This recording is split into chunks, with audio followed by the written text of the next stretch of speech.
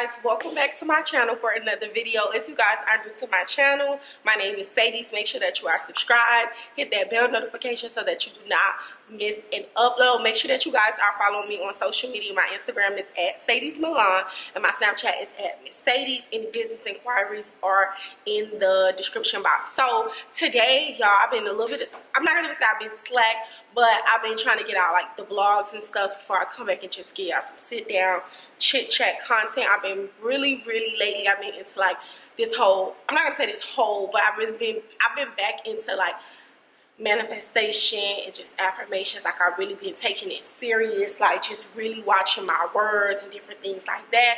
And I wanted to just come on here and I wanted to share with you guys some you know content let y'all you know see what's going on what's been on my mind lately and just give y'all some tips some advice. I haven't done these videos in a minute and yeah let's get into it Okay, so I know it is the top of the year. Well, it'll be soon, the top of the year, and everybody's gonna be on this, you know, motivational, this and that, trying to start businesses and do different things, and that's amazing. And I'm glad that you know people see the entrepreneurship in themselves, right? So I wanted to give you guys some tips because I know that some people have this you know, some people have this testimony where they have, they said, I quit my job and two days later, I submitted my idea and I became a billionaire. That's not everybody's story, right? So I wanted to give you guys some tips on how to balance the dream and the job.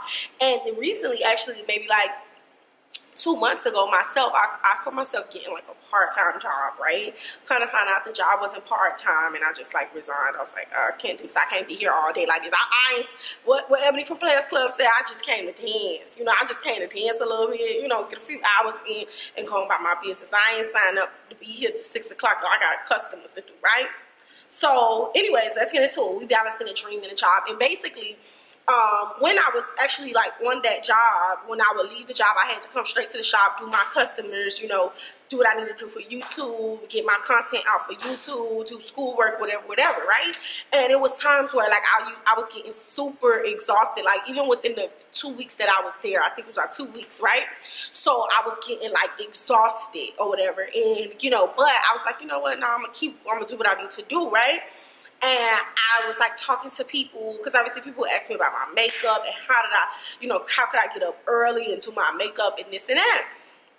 And I told them, I'm like, you know, I I love doing this. This is my passion. Like this is not nobody don't have to pay me to do my makeup, wake up and do my makeup. Like I'm gonna get me together. Period. So um.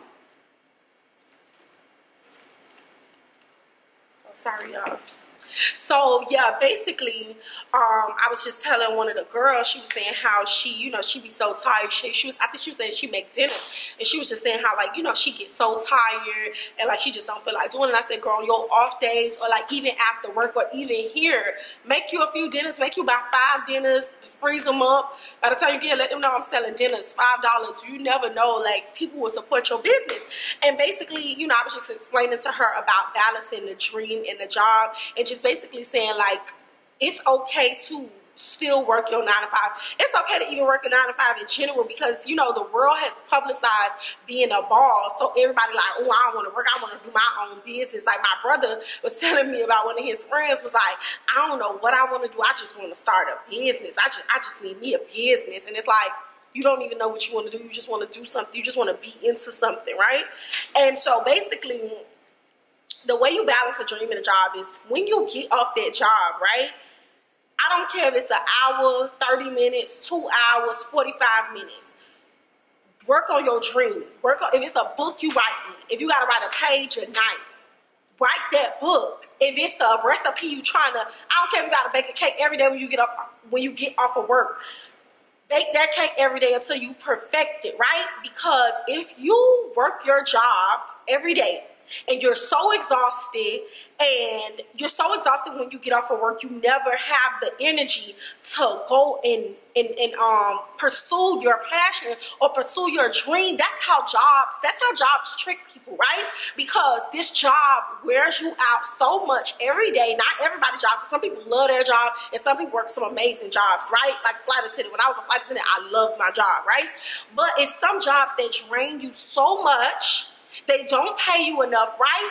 So you living paycheck to paycheck, right? You living paycheck to paycheck. It's not enough. You got to try to do overtime. So you doing overtime. That's taking away time where you could be pursuing your passion or pursuing the the dream that you got, right? You working extra overtime. You there all day. You exhausted. You don't have no energy, right? To do nothing else. You don't even have time for your kids and your family. That's how these jobs get you. And that's why then 20, 25 years later, you're like, oh my God, I've been at this job since I was 19 you still on the same pay scale. Maybe they gave you a little promotion, you know. But you gotta find that time to balance a dream in a job when you get off of work, when you on your break. When I was working at that job, when I was on my break, listen, I'm on my I'm on my phone studying for my exam that I got at midnight.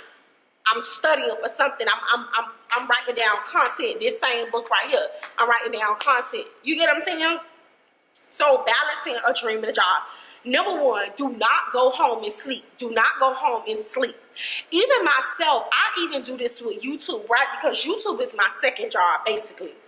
Yeah, I am going to be a full-time YouTuber, but YouTube I do secondary after I work at the salon, right? But like last night, I went home and I said, you know, I'm so tired. After I finished getting my hair done, I was like, oh, I don't feel like filming today. I was like, I'm just gonna go home and go to sleep. I said, you know what? No, I'm gonna go home, shower. As soon as I get in the shower, I'm gonna make me a little espresso shot. I'm gonna get on my computer, finish my assignment for school, and then I'm gonna post the video. I'm gonna get this video edited. I'm gonna get this video uploaded. I can't say I want to be this YouTube. I want 100,000 subscribers. I want 20,000 subscribers, and I'm not doing the work. Every time I'm tired, I'm tired. Like ET say, you gotta push through your pain, even when you tired, even when you don't feel like doing it. Just think about if you only did stuff when you feel like it. You wouldn't get nothing done because there's plenty of times where you don't feel like going to school, you don't feel like going to work, you don't feel like going to church to feed your spirit, but you go so you gotta, y'all gotta, we have to get over that.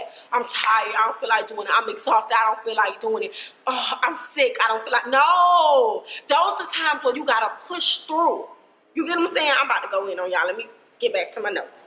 That's number one. Don't go home and sleep. I don't care if it's 30 minutes. If you're trying to get a workout go, I don't care if it's 30 minutes. I'm back on my workout. Listen, I do 100 jump ropes. I do 25 sit-ups, 25 squats but I get my workout in. I don't care if it's 30 minutes.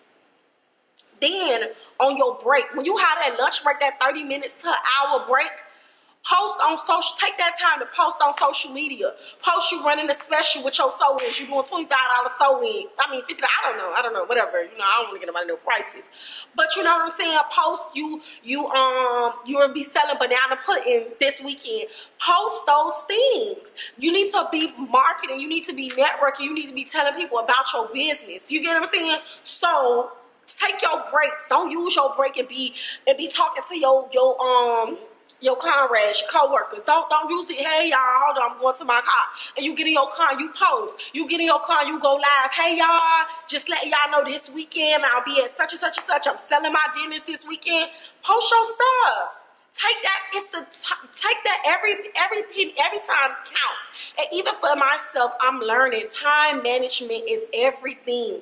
Time management is everything. We have the time. We just don't make it. Just like yesterday, I was back there sitting in the dryer and I got up and I said, dang, I sat up here on Instagram for 30 minutes while I was under the dryer. I was supposed to be typing up my, my because I, I do this thing where I type my schoolwork on my phone sometimes. If I know it off the back, I'll be typing. I say, okay, I'm going to send this to myself. And when I get to my computer, I'm going to finish it, right?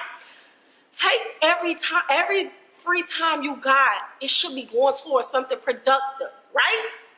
Okay. Posting break. And then social media, right? You need to network. You need to network. When you your co while you at work, you need to be networking with your coworkers. I'm sure in certain jobs you work with plenty of people. You work with plenty of people. You need to be looking at them when you see your coworkers. You need to be looking at Miss Sue saying, Miss Sue gonna be one of my customers. She gonna be one of my customers. She gonna be one of my. You, you you look at them like customers. They your coworkers. You be nice to them genuinely, but you should be looking at them like I could. She could be one of my customers. I got the photo shoot. She could be one of my models. Let me, oh, he look like he like to eat. Let me ask him, do he want to buy dinner? You got to use what you got to get where you have to go. Use the resources that you have.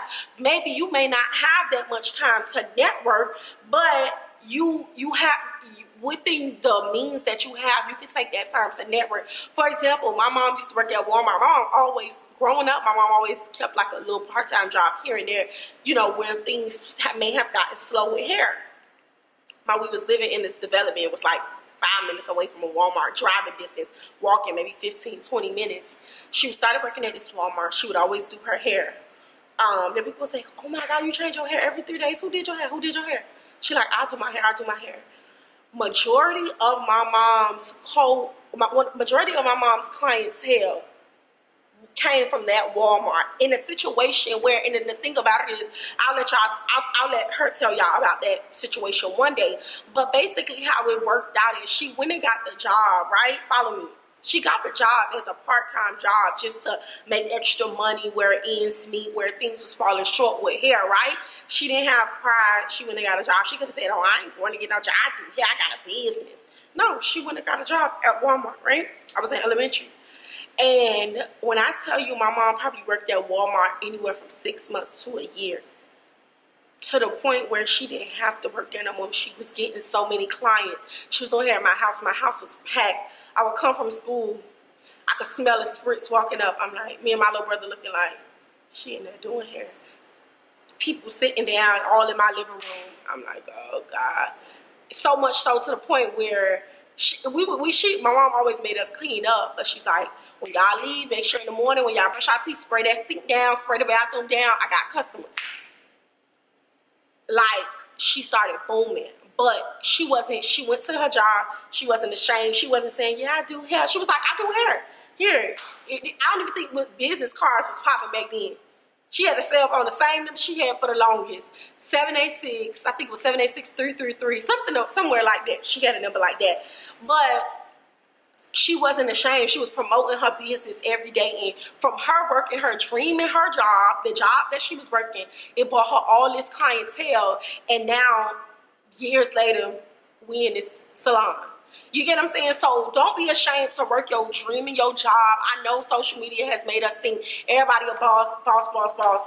Work your dream in your job to get where you gotta go. But meantime, between time, promote, network, pass out your cards, tell people about your business, be posting on social media, be proactive in your business. So I hope these tips helped you guys with working a dream and a job. If you know somebody that's doing this, you can share this video with them. If you yourself are working a job right now, you want to start a business, these are some tips that could help you. This is just coming from me, what I know. I don't know it all, but these are just some things that has helped myself, even me, working jobs and having a business as well sometimes has helped me. So I hope you guys like this video. Be sure to like, comment, and subscribe. Tell a friend to tell a friend about my channel. Y'all, we are about 35 days into the new year, and I'm almost at my goal of 5,000 subscribers. And I and I believe I'm gonna. I'm not gonna say I think. I believe I'm gonna surpass that. So yeah, like, comment, and subscribe. Leave a comment in the comment box. Y'all always DMing me. Y'all always DM me, but y'all don't never leave a comment. That's why some people DMs, I don't I don't respond to them. I'm like, you you said the video was so good, it was this and that. Maybe you could have left a comment. Y'all gotta keep this interaction going. You know, YouTube like that stuff. So yeah, I love you guys. Thank you guys so much for supporting me. You could be watching anybody else's videos, but you decided to click on my video. So yeah, I will see you guys in my next video.